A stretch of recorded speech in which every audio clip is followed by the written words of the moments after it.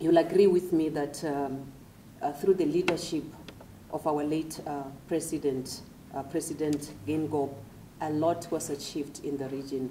And um, he passed on just after his tenure as uh, the SADC chair um, of the organ.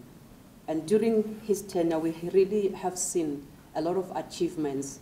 Uh, you will agree with me if I take you back to several meetings that took place uh, in Namibia.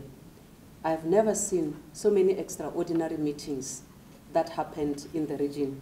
I've been in the Secretariat for the past five years, but during Namibia's tenure, I have seen so many extraordinary meetings relating to the peace and security issues in the region, particularly the issue of Mozambique was uh, quite critical during the tenure of Namibia. But through that period, we've seen the leadership, um, and in all spheres of government, really. And it just shows you that there was serious leadership in the region. There was leadership also within the republic itself, because as the chair of the organ, um, you know, underneath his chairship, there's always all these other sectors that are uh, actually supporting him, including um, the chair of SARPCCO, including um, the chair of um, public security, the chair of state security, all those that are dealing with uh, issues relating to peace and security.